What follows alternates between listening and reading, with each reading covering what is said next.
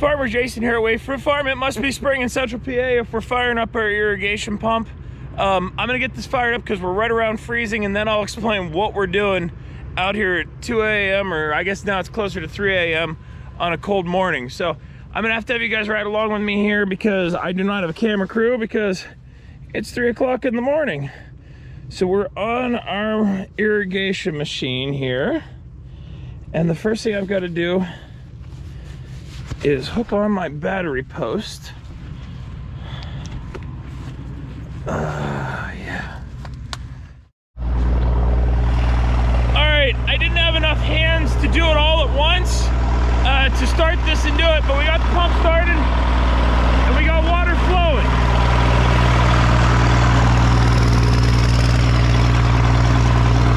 I got water dripping and water blowing over there.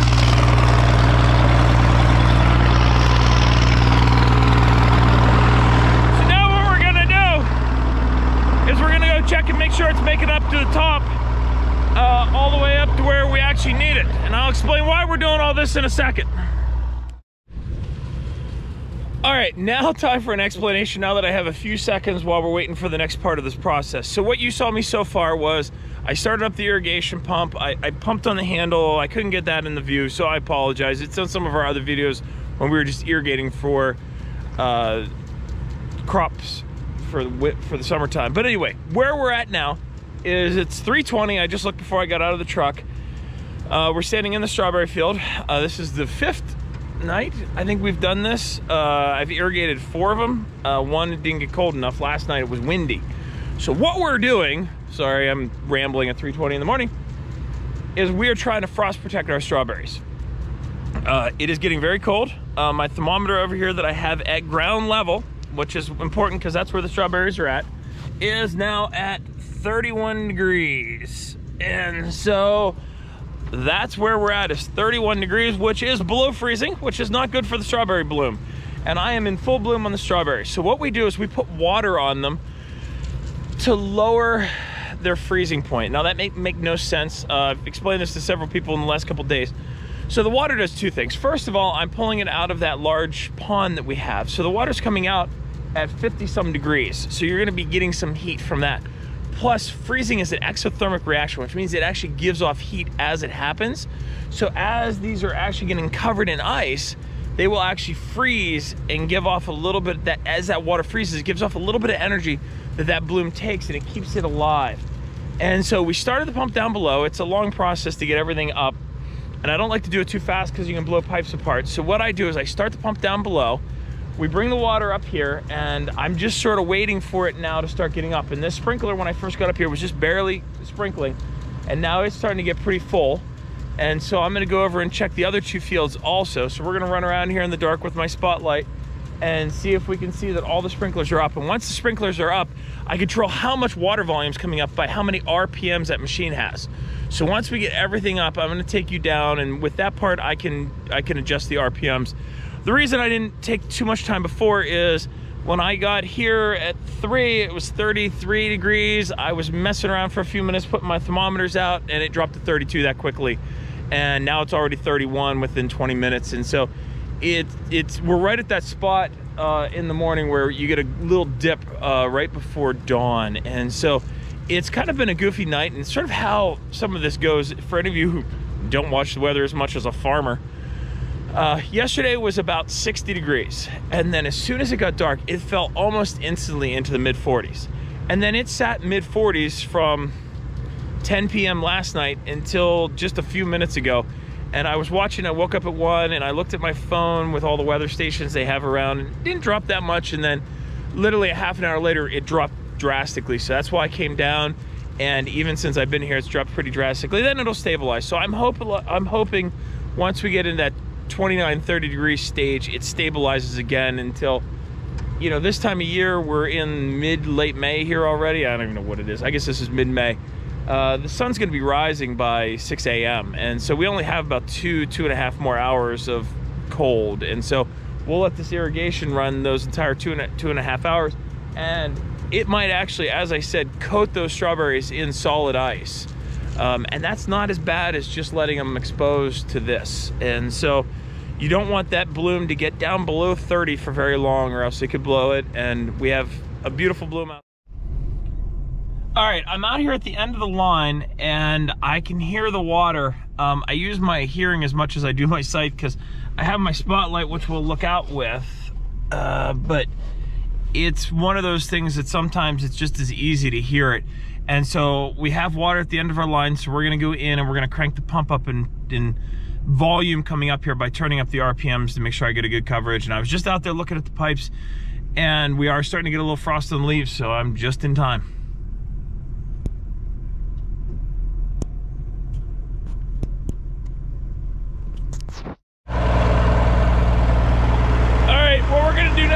turn up the RPM so we get more water out there. So come along with me. Oh, and you can see, especially down here in the grass, it's starting to get frosty, especially in this low spot by the pond.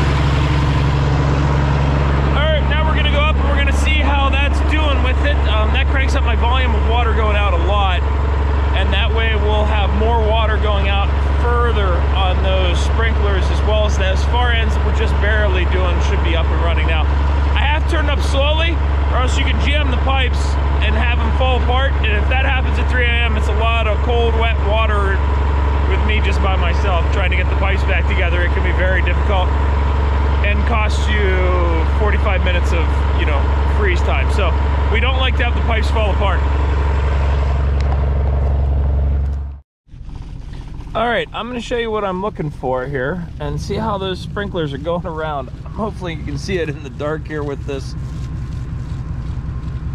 You can kind of hear it too. There's another one.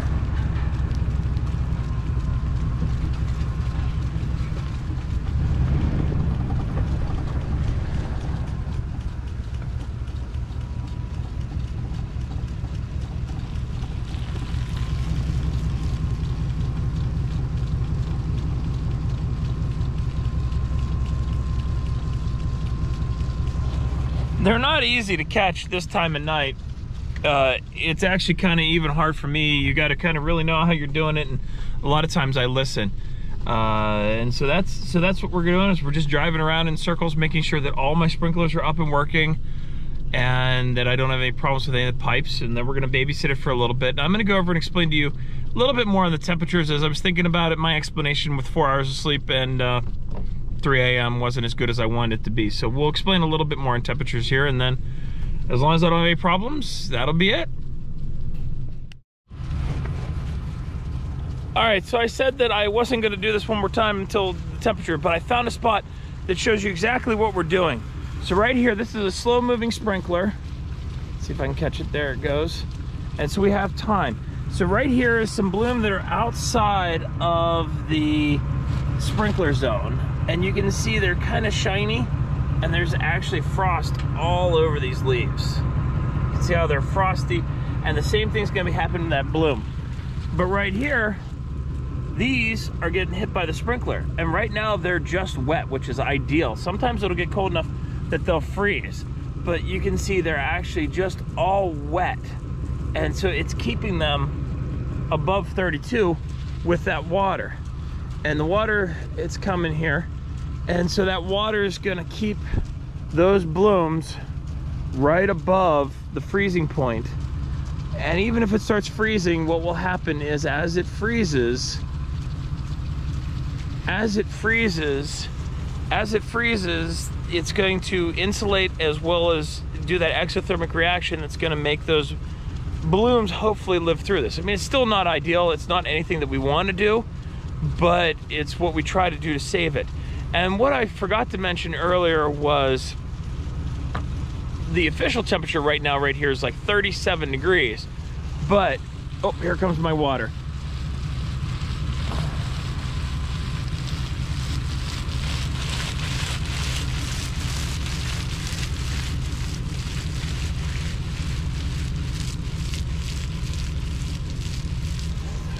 So what I forgot to mention, I'll do it here and then I'll sign off with you guys as long as everything goes right. Uh, what happens is the official air temperature is measured a couple feet off the ground and right now it's still in the about 35. Uh, but what happens is right on the ground on a cold clear night like this, this is what we call a beautiful, uh, I don't know if you'd see any stars. This is what you call a beautiful um, crystal clear spring night and we get radiational cooling, which means that the that the air is super dry. There's no clouds, there's no wind, and so what can happen is all of the heat that was generated through the day goes right out into outer space. And so when you have those radiational cooling nights, the lower areas get much colder than the high areas. Like my mountaintops where most of the apples are at are still probably 38. Down at this pond where we have it is probably gauging off some of the other weather stations in the valley, probably right around 30. So there's probably an 8 to 9 degree difference between the tops of the mountains and the valleys. And the strawberries are in between, and that's why they're 31. And they're especially right on the ground. And that's why I put the thermometer on the ground, not at 5 feet, because that would tell me how my trees are doing, not how my strawberries are doing. And for this, the only thing I have the ability to protect is the strawberries. Plus, they're the most vulnerable at this moment in time. So that is why we do what we do. That's how this game goes. And so we're just gonna babysit this for a couple more minutes. Uh, if everything goes good for the next half hour, then probably go home, try to catch an extra 45 minutes worth of sleep before we start back at seven o'clock for our normal day. All right, thank you guys for watching. We enjoy doing these and bringing you into parts of our weird lives here in farming. Bye. All right, so it's daylight now. Uh, it got down to 28 and I think most of the time it was in the 29, 30 range. It probably was only 28 for a very short period of time but you can see all my sprinklers going and this way you can see all the ice that has gathered in the field. So you can see how it got icy. All of those are covered in ice. All that shiny stuff is ice covered and so uh, it did its job. We're covered in ice and hopefully the strawberries survive. I won't know for a day or so. Maybe by this afternoon I'll be able to tell if, the, if they're starting to look sick but hopefully it wasn't super cold and they had water running on them the whole time. So I think they should be okay. We'll find out. But that's the way farming is. You do your best. Uh, you cover everything in ice and you hope for the best. All right, thank you all for watching. And we'll see what happens.